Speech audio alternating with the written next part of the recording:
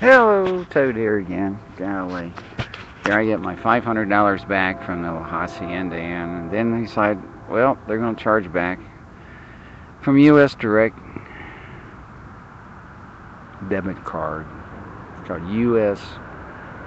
Direct Express debit card. Anyway, I just got off the phone with them, and they said, well, you you need to go talk to the owner. And I'd already talked to the owner and had to file a police report some six weeks ago, which I sent to him and implied, you got the police report. The man refuses to give me my money back. And now they took my money, so oh wow, I'm gonna be a thousand dollars in the hole. But at any rate, as of August the 1st, I will no longer be a customer of U.S. Direct Express debit card systems due to this poor customer service. I'm going to be with USAA banks, and of course not with US banks, who I'm carrying around now a 42 page federal lawsuit that's been filed successfully in 2008, 10, 12, and again coming up in 2014 for excessive overdraft charges.